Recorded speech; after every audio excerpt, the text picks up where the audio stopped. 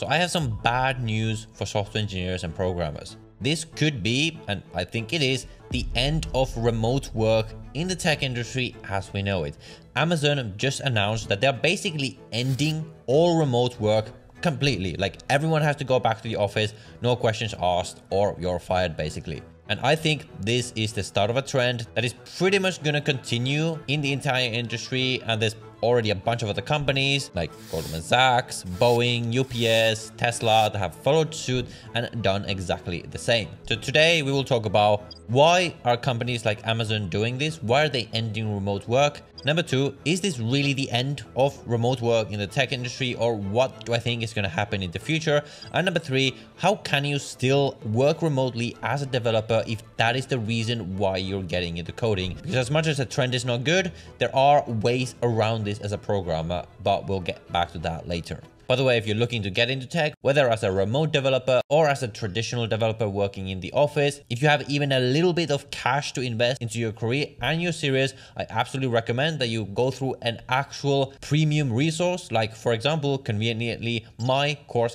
Python Developer Bootcamp, where I essentially just hold your hand and take you through the entire process from start to finish on everything you need to learn to become a Python developer in 2024. And I will also handhold you and give you everything you need when it comes to building your resume, applying for jobs, LinkedIn, like literally everything you need as someone who has worked for some of the biggest companies in the world. That course will be linked in the first link in the description down below. And you can even use the code Python for a special discount only for you if you're watching this video. With that, let's get into the video. So why are companies doing this? Well, the sad cold hard truth about this is that remote work was never really the norm. It was almost kind of forced down down on companies by the COVID pandemic. When the COVID pandemic hit, all the companies were forced to shut down their offices. And luckily, programming is the kind of job that actually does work kind of well, even if you're doing it from home. All you need is a laptop and an internet connection. And everyone loved it, especially the employees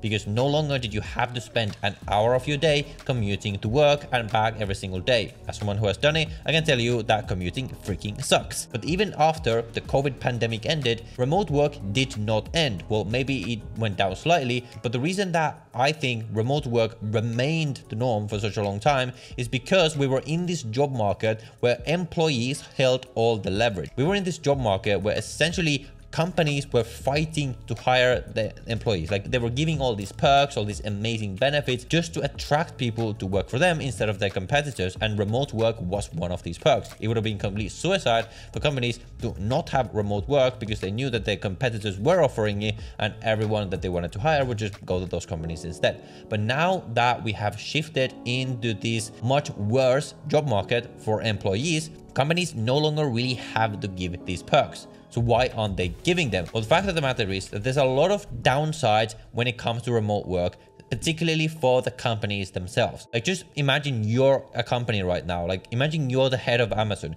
You're paying all these rents for these massive offices, these massive crazy campuses that you've invested in and no one is working there because you're allowing everyone to work remotely. Why would you do that? And also you are seeing reports that productivity is going down because as much as you can do your work from your laptop, like again, as someone who's done it both ways, I can tell you that Zoom meetings are unfortunately not quite the same as in-person interaction. Again, if you're the company and you're paying these employees all these wages, you want to maximize their productivity. That is just how it goes. So if we get into a situation where you no longer have to give these employees these perks, then in the long run, you're probably just not going to do that anymore. And there's also other downsides when it comes to remote work. Like personally, I experienced this firsthand when I was working in my job, which ended up being almost entirely remote. Like I was able to work remotely every single day. While overall, obviously, as an employee, I loved it, but there were certain things that I didn't like. Like for example, there were some teammates that were in my team that I never met in person, and I had no idea what they even looked like because they would not put their cameras on in our meetings. So of course, with this dynamic, we didn't have any kind of like team dynamic. Like we didn't feel like a team, which affected morale. We weren't as excited to work together and it's not as easy to ask for help over Slack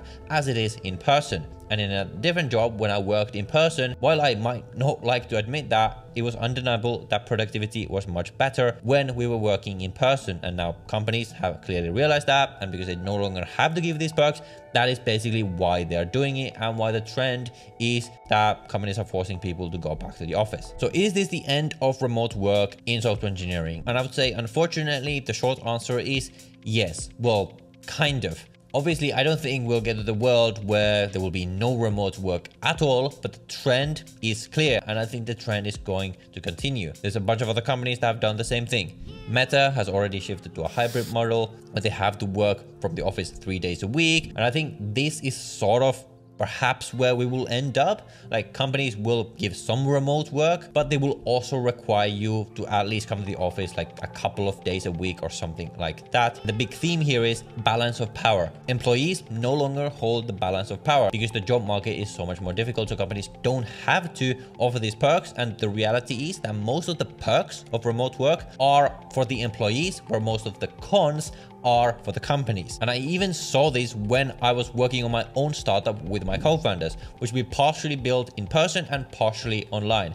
Like it was undeniable that we got a lot more done and it was much easier to work together when we were working in person versus remotely. So while there will still be companies that will stick to fully remote and many companies will adopt some kind of a hybrid model, I don't think we will ever really go back to the days where fully remote work is the norm like it was in the pandemic. Because again, remember that was never really the norm. It was always the exception. So with all that being said, it might sound like I'm now saying like, okay, you cannot work remotely as a developer anymore. It's not possible, but that is not really true. There are still ways to do that. It's just slightly more difficult and it's not something that you should take for given as much as before. First things first, if you're working a traditional job for a company, what you really need to do, like remember when we talked about balance of power, the reason why you don't have the same remote work privileges as before is because the balance of power is in favor of the company. So if you want to reverse that, you need to essentially take back the power to yourself. So how the hell can you do that? Well, essentially this means that you need to show to the company that you are so valuable that they cannot afford to lose you so that you can essentially tell them like, look, I want to work remotely. If you don't want to give it, that's fine, but I might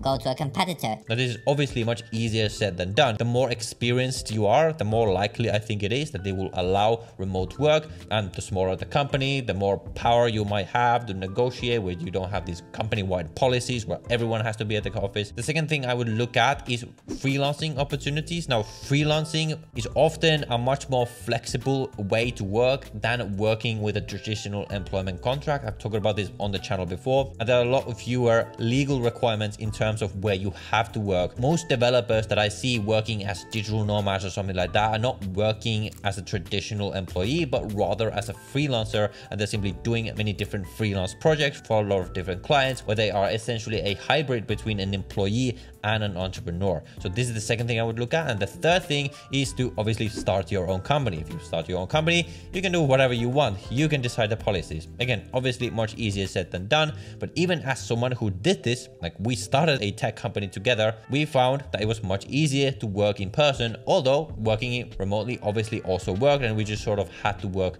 around that. But in the long run, if you want the most freedom, then this is really going to be the only option. And this is fortunately the position that I am able to in right now as an entrepreneur where I work for myself. I can be wherever I want. I've been spending the past six months going around the world, like working from different countries. So if you're someone who's now interested in perhaps one day starting your own company, then I highly, highly recommend you watch this video right here where I go through some of the very painful lessons that I learned from trying to do this on my own and failing so that you can not make the same very expensive mistakes as I did. So go watch that video next. And with that, I'll see you in the next one.